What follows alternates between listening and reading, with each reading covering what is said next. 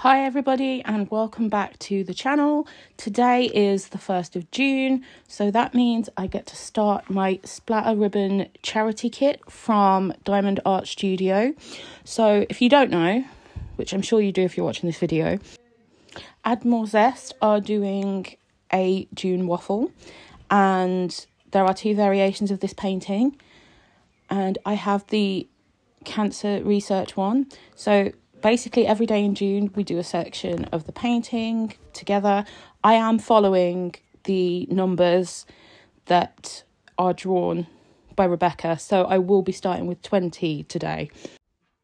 I also completely messed up a number today and I have no idea how I did it. Somehow I got the number and the symbol mixed up. Well, the number was a symbol, but um, I completely messed it up somehow and ended up filling in an entire colour um, with the corresponding number rather than the symbol, which was a number.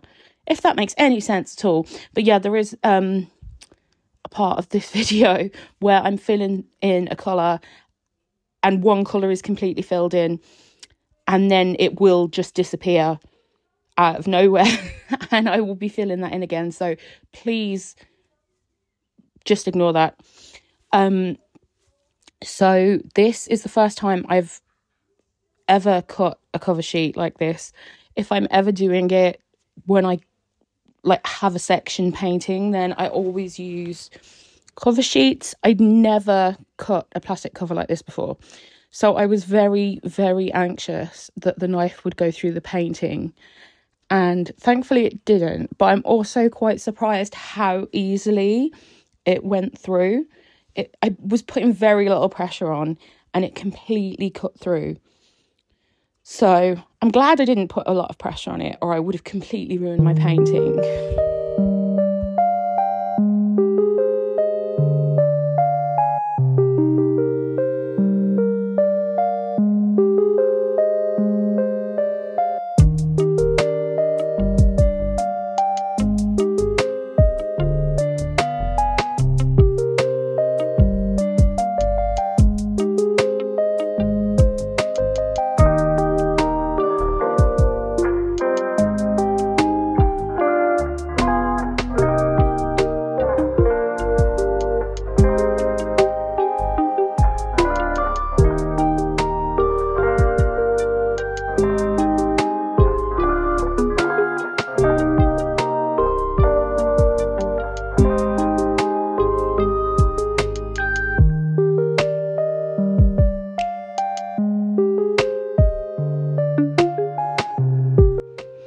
So here is where you can see that I accidentally put 209 down and I have absolutely no idea how I did this. Um, but I thought I would explain it rather than you wondering how and why this random colour appeared and then disappears in the next colour.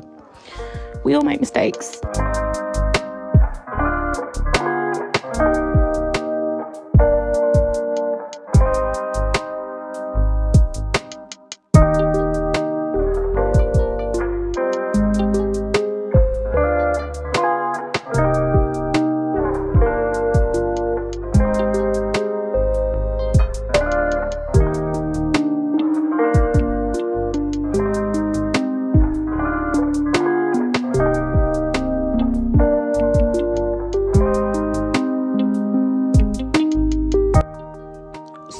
There is first section almost completed.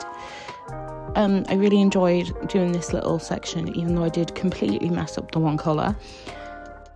I'm very excited to see how it looks as more areas get filled in and the picture starts coming together. And all that's left to do is roll it and just take off the small little piece of paper and it's done. Thanks for watching and I shall see you in the next video. Bye.